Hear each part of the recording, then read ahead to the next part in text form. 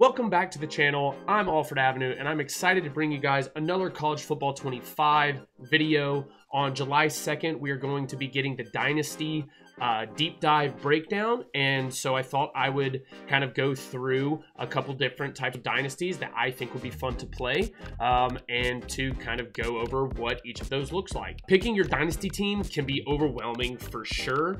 Um, and doing it before the game has even released, where you can even look at the players, is even more so. Uh, there's so much pressure to pick the right team because you have to go through and and essentially pick the team that you're going to be using for at least a season. And you kind of want to make sure that you use your time and, and pick the right team effectively. There's 134 teams, and they all have cool traditions and players and play styles and jerseys and all these new abilities and menus. And the game is back after 11 years. And I don't want to mess it up from the jump. And ah, how do you decide who to use? What team to take back to greatness, to greatness, through greatness, in greatness, around greatness? Then there's hoping that you make the right decision once you do start your dynasty and hope that you don't have to start a new one immediately. You guys get it. It's stressful, it's a lot. Anyways, in this video, hopefully I can help to ease some of those concerns and kind of make your choice a little bit more simple. Um, I'm going to be sharing with you all a few different types of dynasties that I feel every player uh, should be thinking about doing and help you to pick the team that's right for you. There are five main types of dynasties, and I've got an honorable mention for some historic slash storyline dynasties um, that I think will be fun to play. Uh, many teams can fit within multiple of these different types, uh, but I'll go over some of the typical teams for each scenario. These five types of dynasties include your favorite team dynasty, worst to first, a rebuild dynasty, you've got your up and coming dynasties, as well as your powerhouse playthrough. Now, I'm not going to tell you which team to play with because I would hate for you to pick a team that I told you to pick and you just hate the playthrough. Um, but I am going to present you all with some scenarios that that you'll hopefully find interesting and help you to pick your team so that you can take on becoming a dynasty with that team. I am going to tell you, however, which teams I'm going to pick and kind of explain why I'm going to pick them so that hopefully it'll help you choose yours along the way. Let's get into breaking down these different types of dynasties. To start with, we're going to take a look at the your favorite team dynasty. Um, for me, obviously, this is my Auburn Tigers, War Eagle. I can't wait to take the position of head coach there on the prettiest little village on the plains, to sing War Eagle when we get touchdowns, and to chant Bodda Getta throughout the game. Flying the Eagle to start home games and getting the home crowd jumping for swag surf while watching Aubie get hype in front of the student section. I want to stick it to Bama and give it to Georgia every year and make Auburn the school that represents the state of Alabama, pulling in the best recruits, winning championships, and shipping those players in the first round of the NFL draft. Since this obviously is not going to be happening in real life, I would like to do it in game. I'm sure you all have stories like this with your own teams, and will enjoy taking uh, this year's players onto the field and try to give them glory in game that they may not experience in real life and on the field. In our group Online Dynasty, we're talking about each of us taking our favorite teams and playing with them. To create more of a challenge, we may choose from the next type your worst to first. You can take the worst to first idea literally and go in and use like literally Kennesaw State or Kent State, who are ranked 134. And I'm, I'm sure there's going to be an achievement for taking the worst team to the national championship the first year. Um, but taking this team with like a hope and a dream after going 1 and 11 last year um, would be a lot of fun, but it is usually really challenging. But typically, the worst to first is more of like a mentality thing. It's going to be a team in the lower than 100 rankings in the overall rankings, and in the past, typically it would mean like a team that's like a one star, maybe two star, setting a cap at like that three star prestige. These are teams that have little to no history, no tradition of winning, no success, but you want to pick a team with a little character or flair, or at least cool jerseys, or maybe a star player um, that you've been hearing about. This is a save where you'll start very much at the bottom and grind your way to the top by trying to go 500 um, get you know winning more than one game a season, getting into a bowl game, moving towards winning a bowl game, then trying to win your conference championship, then with the expanded playoff, fighting for a bid to play against the best. Eventually, you'll definitely try and get into winning the national championship, but it's definitely a start from the bottom and move up. This is definitely a more long-term type project, uh, but they're always my favorite, and, and I like the story building of creating um, a team and taking them from bottom to top. Um, and to me, they create the most fun storylines while also being the most rewarding.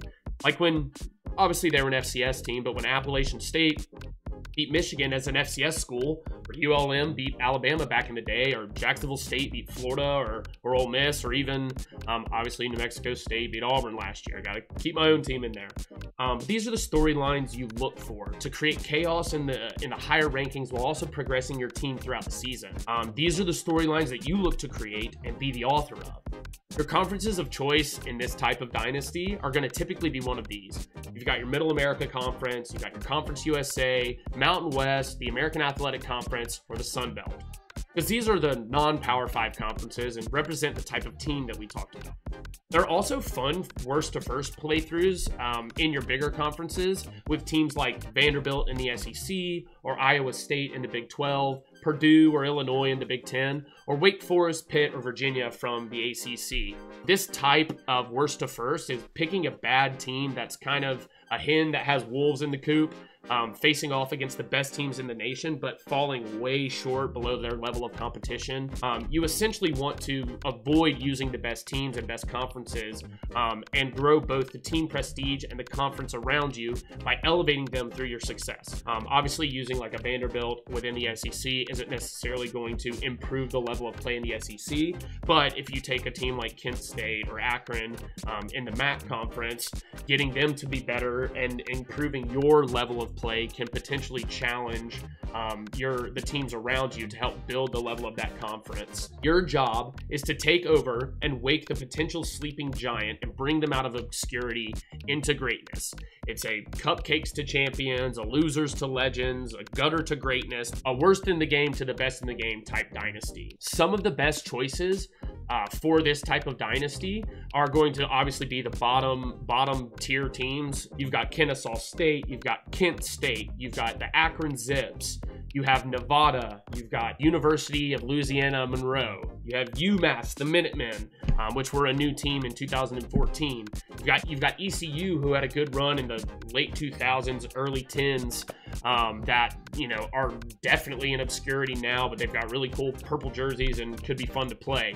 UConn, you know, another team that had an okay run back in like the 2008 time frame, um, and who are just falling off big time. Um, Buffalo, they're always bad, but they have a cool mascot and cool blue colors. Sam Houston, a new team uh, to the FBS. Obviously, I think they've been around for like one or two years. Um, they went three and nine last year. The list goes on. Based on these teams and the and the way that we've described this, um, I'm most likely going to select Kennesaw State. They seem to be the coolest of these teams to select. Um, they have interesting stories and pretty cool colors and whatnot. And it looks like college football has already paid attention to them. If you saw the Sights and Sounds video, Kennesaw State was featured, the Owls. Uh, but Kennesaw State is going to be joining the FBS for the first time and should be a fun team to, to build a dynasty with in college football 25. Uh, but with questions at O line and at quarterback, this should be a challenging yet fun team to build with. They're seated in the Conference USA and are located in Georgia, a hotbed for blue chip talent. Um, that should help them to grow over time or to get you know a, a, big recruit in the first year that can help springboard them into being a better team the next kind of dynasty we're going to talk about is a rebuild these are typically the teams that are usually in a major conference and have seen success in fairly recent years or and have tasted glory either in their conference or with a national title, uh, but are currently falling on hard times. Or they've just fallen short of the really high standards that their fans and traditions require. These teams are underdogs in conferences that produce the best talent and the highest standards of winning, and your job is to take these teams from the stagnation that they're currently experiencing to the heights of greatness. Nebraska of the 1980s and 90s were a defensive powerhouse with some of the best running backs to ever touch the field, winning national championships in 94, 95, and 97. Um, they're definitely a far cry from the program that they once were. Can you help bring this team back to greatness? Can you use your past influence to help garner success and draw the best talent to you, away from the big dogs, and rebuild your team to the powerhouse they should be? Other teams that fit within this category are going to be your Florida Gators Who have kind of fallen on tough times in the SEC East. You've got Baylor, who are really struggling this year, but had success with Robert Griffin III winning a Heisman Trophy. You've got your Tennessees, who every year they're going to win the national championship and end up going seven and five. Um, you've got Miami, who have fallen on hard times. Uh, they're in the ACC, who used to be a powerhouse, winning a national championship. I was, I believe, it was in 2002, 2003. Um, but going back to back, and I think losing to Ohio State uh, in one of those. You've got UCF, the the Golden Knights, uh, there in Florida, um, you know, who have a claimed national championship, but maybe you want to come and take them and rebuild them and, and get them an, an undisputed playoff national championship. TCU, the Horned Frogs, who were, you know, a big team in the Big 12 for quite a while. Obviously, they came from the Mountain West, but have a lot of history. Um, then you've got obviously Auburn, um, kind of one of the underdogs. Um, that is is in this position. Um, they won a national championship in 2010, went to the national championship, lost to Florida State in 2013, and have been on hard times following the Gus Malzahn and Bryan Harsin era, stepping into a new uh, new phase with um, with Hugh Freeze. Maybe you can replace Hugh Freeze and and take them on back to greatness. We've got Colorado, a team that is filled with talent and coached by by prime time, um, falling four and nine last year or four and eight, uh, just not looking good in general. Maybe you can take that talent and actually harness them to be successful. You've got Michigan State there in the Big Ten, who have kind of always been the little brother to Michigan. If this offends you, I apologize. Um, but as an Auburn fan, I can relate greatly, and Michigan State would be my favorite team in the Big Ten because of that. Of these schools, and outside of Auburn, because Auburn's on this list, but they're obviously my favorite team because they technically fit in both of these categories, favorite team spot, and definitely meet the requirements for rebuild. Um, but outside of Auburn, I would choose either Miami or Michigan State. Uh, Miami has a really cool history of domination uh, back in the day um, and, and are currently a middling team in the ACC. But they have really cool jerseys, a sick mascot, not to mention the number seven rated offense, according to College Football 25. Um, even though they're only ranked 47th in the college, uh, the CBS FBS Division One rankings, um, they're kind of on the upper end of this rebuild. Um, you, you know, you don't want to to go too high in the rankings with one of these because you want to like actually experience the rebuild process.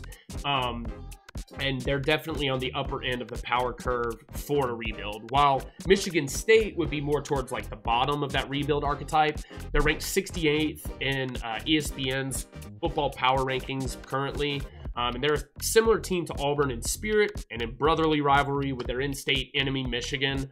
Um, but they're a part of a big and powerful Big Ten conference um, and could see success early in the dynasty with a couple of key wins and some good recruiting. Outside of the worst of first, this is one of the more fun dynasty types because you can kind of use it's a decent team, kind of get you warmed into the game before getting into like obviously the worst of first is like really tough uh, because of just how bad they are. Um, but that leads us into the next type of dynasty, which is an up and coming dynasty. With a rebuild, the next type is pretty similar. You know, your rebuild teams are, you know, they're still in a good conference, but they they have some good players. They just haven't been able to meet the standards that their fans or expectations that have been put on them. They're just not achieving that. Up and comings are the type of teams that are just below a lot of these rebuild type teams, and they're kind of exceeding expectations right now. They're coming in and they're supposed to be, you know, a, a MAC team or like a, a, American Athletic Conference team, and they end up going 13 or 11 and one or something like that and winning a big bowl game. Um, this dynasty uh, is for the type of player who wants the challenge of playing as a team that's not historically known for being a powerhouse, but has shown some flashes of greatness recently. They're most likely not the biggest schools in their states and will have to compete with the big dogs to survive for talent and for wins. And they'll be competing against the best for their state's local talent. This will most likely prove to be a big recruiting challenge, but with some success in the playoff, I think a team can begin to build a reputation that makes players want to come there. These teams are bound to be great options for the transfer portal players. You know, those freshmen who are mad about not getting starting time um, at their big school that they went to, or a jaded senior who lost his spot to a freshman. I think these teams could be some of the most fun types of dynasties to play with teams like Jacksonville State University. You've got Tulane, who are up and coming, and I believe are ranked in the top 25, um, and Kansas, who are a kind of bad Big 12 team who have kind of turned their program around in recent years. Um, you've got Liberty, who are a former FCS, recently into FBS team that Hugh Freeze helped to recruit and build um, towards. I think they're in the top 25 as well. Um, you've got James Madison. You got Appalachian State, the Mountaineers, who, if I hadn't done the NCAA 14 dynasty with, I would have done Appalachian State just because I really like their history and they're just like a really fun, cool school um, with, you know, a cool mascot as well as like a history of winning cool, big, clutch games. Um, you've got Troy here seated in Alabama, Wyoming, who helped produce some good quarterback talent, um, but are not necessarily known for being great. You've got Ohio, the Bobcats, who are in a terrible MAC conference, but I believe went 11 and 0 last year um, and just kind of smoked the rest of the teams around them. Um, obviously, with a team like that, you're looking to kind of move them. Sorry, they were 10 and 3. Uh, kind of move them from that mediocrity into being a team that can contend for national championships. But for me, uh, I'm going to be choosing Jacksonville State from this list. Um, it's a school that's close to home for me here in Alabama, and it's a school that my fiance attended and many of my friends have attended. Not to mention, I think my dad went there. They're definitely on an upswing, playing upset to teams like Florida State and Ole Miss a few years back, and have seen some success at an FCS level. Um, they have cool jerseys. They're like black and red, um, and have some cool white jerseys as well, um, and are a decent team going into 2024. And who doesn't want to say go Cox? They're a small school in a state that's known for producing elite college talent and for producing national championships left and right. Mostly from one source, obviously, but I digress. With some grit and patience, Jacksonville State could see quick success in the Conference USA, and you could move them later to the SEC to become one of the regional powerhouses located in Alabama. The final type of dynasty is not my favorite, but I know some people just like to play with the best teams and they don't necessarily want to spend all the time recruiting and they don't want to take the time to like really grind out um, a dynasty and they want to come in and play with the best be the best and just rack up trophies and um, from the get-go and and just get there as quick as possible for those players this is a this is what i like to call a powerhouse playthrough. Basically any top 10 team or a team that's like six star or five star prestige or a perennial powerhouse even if they're having a down year this is a good option if you don't have a ton of time but want to play with like all of those best players and the best teams and drive around a ferrari versus you know a 2001 toyota camry these these powerhouse teams are are these powerhouse teams are your teams like Michigan, Washington, Texas, Bama, Georgia, Florida State, who can also be a rebuild, but they have been a typical powerhouse. Oregon, you've got Ohio State University and Notre Dame, as well as Clemson and Oklahoma. I personally am going to steer away from playing a powerhouse playthrough. I don't judge people for playing them. It's just not my preferred like way to play. Like I want to take my team from the bottom and then build them into a powerhouse so I can then do that. But usually by the time I get to that point, I want to start another new like bad dynasty, if that makes sense. I'm personally going to steer away from playing a powerhouse playthrough, but really only because my team is not included in that upper echelon of teams to choose from in college football 25. But if I were forced to choose, I would probably go outside the normal big winners Bama is obviously a no and never will be. Um, I didn't even buy NCAA 2012 because Mark Ingram was on the cover. Uh, and OSU and Michigan, to me, they're a little too cliche or just like too good. I, I, would still, this is just kind of innate in me to choose like the challenge out of the powerhouse playthroughs. Um, so I would most likely go with Washington. They're a legacy of Pac 12 greatness that have been unable to secure a national championship, but have been just like on the edge of that for a few years. Um, and to solidify this status as a dynasty, uh, this will be a lot of fun to take them from like doing really great to being elite and becoming a powerhouse dynasty type program. Um, it'd be cool to take them and really control the Pacific Northwest and the West Coast in regards to recruiting, uh, but just in general, beating all those teams. Um, with a high-powered offense this year, uh, they're they're ranked, I think, at like 25 exactly in the top 25. But losing their head coach to Bama, this looks like to me the funnest prospect for a powerhouse playthrough um, that you could really make your own. With an honorable mention here before I list off the five types of dynasties again. Um, this is the return to glory historic slash honorable mention list. Um, to me, these are teams with really cool backstories or pretty intense falls from grace. Um, there are multiple programs like this, but I think the two that stick out in my mind um, are first of all uh, Southern Methodist SMU taking the death penalty in the 90s, um, and they have really not seen that level of success since then. Going from the Pony Express to My Little Pony uh, due to the Pony Excess era, um, it was not what they envisioned at all following that greatness in the 90s. Uh, they've definitely fallen into hard times, and to take them and build them would be a lot of fun. Plus, they have really cool, really pretty jerseys, as well as a, as a, as a pretty awesome stadium. The other team that I think would be in this kind of like historic slash uh, return to glory would be kind of a weird one, but uh, with Rutgers, uh, they took part in the first ever college football game against Princeton um, in 1869 and came away victorious with a score of six to four and won the national championship in that first year, 1869. Now, obviously, in modern times, they have taken a bit of a tumble, uh, but they essentially helped to invent the sport as we see it today. And it's a cool callback to times long gone with all of these options and all these different types of dynasty, hopefully I was able to help narrow down some choices or at least give you some ideas um, for starting your own dynasties.